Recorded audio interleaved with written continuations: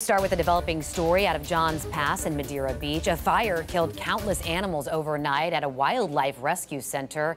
Alligator and Wildlife Discovery Center in Madeira Beach was home to more than 250 animals, according to the website.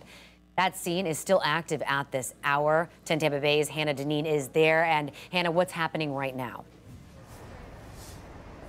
Well, Courtney, first responders are still on scene here, and just minutes ago, uh, workers with the Clearwater Marine Aquarium arrived in this white truck here to take away some of these surviving reptiles. Now, people will be familiar with this area where we are now. This is Johns Pass Village in Madeira Beach, a fixture of the area, and the damage was focused on this business on the second floor here in the, with the green wood. That is Alligator and Wildlife Discovery Center. Its owner telling me earlier today this is an unimaginable loss.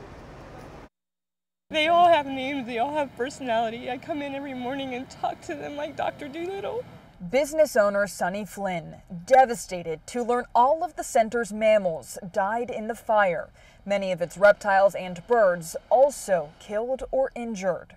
Barley is my four-year-old beautiful pig and he suffered the most because they're the most intelligent animal. Madeira Beach Fire Chief Clint Belk says crews arrived just after 3 a.m. and couldn't get inside.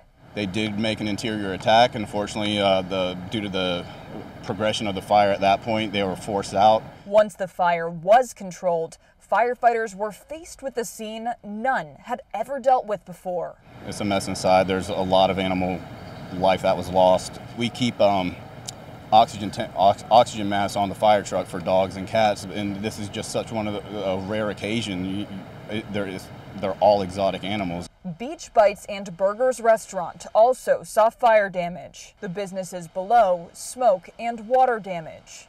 The cause of the fire is now under investigation, but even with answers, there will be little closure for those who loved these animals like family. You didn't deserve this. This is my whole life. My entire life is invested in this. Chief Belk tells me they've now turned over this investigation to the Pinellas County Arson Unit and the State Fire Marshal's Office. Live in Madeira Beach, Hannah Deneen, 10 Tampa Bay.